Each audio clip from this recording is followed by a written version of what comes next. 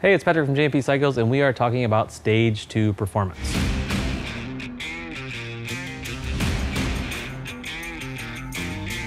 If you're talking about Stage 2 performance, you probably already have Stage 1 modifications to your bike. If you don't, you're going to want to go back and watch our Stage 1 video, which we'll link in the description below. But in Stage 1, we added mufflers, an intake, and a fuel injection controller, all things which you're going to utilize for your Stage 2 build. Now, the first thing you need to do to start your Stage 2 build is add headers. The stock mufflers we got rid of. We have upgraded high, freer flowing mufflers, but we're gonna need to replace that header system with a header system that's capable of handling more power. If you're a bagger guy, we're gonna use something like these Vance & Hines power duals hanging behind me here on the wall. If you're not a bagger guy, or even if you are, you can move to something like a two into one. A two into one is gonna be the best overall performing performance system to support your builds through stage one, two, three, and four actually. And the meat and potatoes of the stage two is gonna be a set of cams. And these new headers and full systems are gonna be built to handle that power where your stock header system's not going to be able to.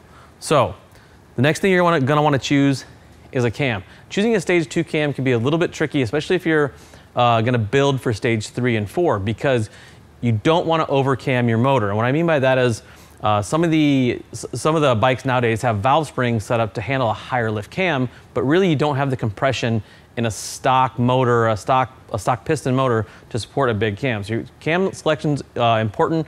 You don't need the biggest lift cam out there. You just need something that's going to give you good uh, low end seat of the pants power and torque. It'll work well with these full exhaust systems. When you put these cams into your bike, it's perfect time to upgrade lifters and push rods.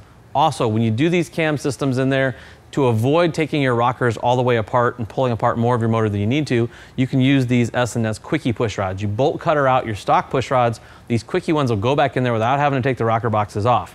Uh, great little step up there from stock, save you a ton of hassle. Also, while you're in there, twin cam guys, it's the same amount of work to replace your stock oil pump and cam plate. No matter what cam you're putting in there, you gotta take the oil pump and this cam plate out. Um, these S&S units are great units. They're gonna uh, give you more oil pressure, a lot more adjustability. Great upgrade while you're in there is to replace the pump and the plate when you're doing these cams.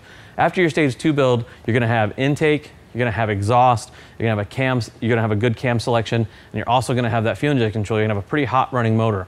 Um, when you choose your fuel injection controller, especially for stage two, you're gonna want something that has a wider, a wide array of maps available to you from that, from that manufacturer, or the ability to have a map written to it, or the ability to have wideband O2 sensors added and a closed loop system ran on it. That's going to give you the flexibility to, to tune into the range um, of fuel you're going to need for the cams, the headers, the intake to really make some power.